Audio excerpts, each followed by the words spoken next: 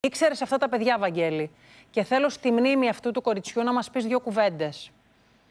Ναι, δεν τα γνώριζα πολύ καλά προσωπικά. Ε, η Καρολάιν είχε κάνει βουτιές, γιατί εγώ από το 2012 με 2016 ήμουνα στο νησί, ε, έκανα καταδύσεις εκεί τα καλοκαίρια και είχαν έρθει, η Καρολάιν είχε έρθει με τους πρόσκοπους, ήταν ε, πολύ δραστηρία κοπέλα, ασχολιόταν με πάρα πολλά και είχε κάνει δύο-τρεις φορές βουτιά, την ήξερα, το νησί είναι μικρό, ε, την έβλεπα συνέχεια. Όπως και τον Πιλότο και τον Χαράλαμπο, είχαμε πει καφέ αρκετές φορές μαζί. Ήμασταν σε κοινή παρέα, δηλαδή. Δεν...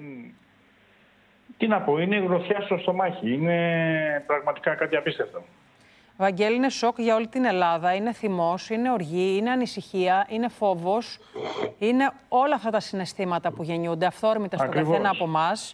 Και είναι και η, η λύπη βαθιά μέσα στην ψυχή του καθενός για το τι Ακριβώς. περιμένει αυτή την Είχα- οικογένεια την επόμενη μέρα. Έμεινε πίσω ένα μωρό, έμεινε ένας σύζυγος, μάνα, πατέρας, δικοί της άνθρωποι, εκτός το ότι κόπηκε το νήμα ενός ανθρώπου στα 20 του χρόνια με αυτή τη βαρβαρότητα. Είναι, είναι ένα φρικιαστικό έγκλημα που νομίζω ότι όλες αυτές τις Ξέρεις, μέρες Φαίη, μας πνίγει. Ήρθαμε όλοι στη θέση τους. Ήρθαμε όλοι στη θέση Ακριβώς τους. αυτό Εν τω που μεταξύ, λες.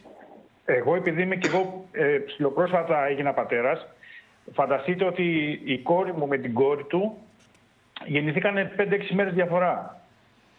Ε, είναι συγκλονιστικό. Έτσι όπως το λες, Είναι είναι συγκλονιστικό. συγκλονιστικό.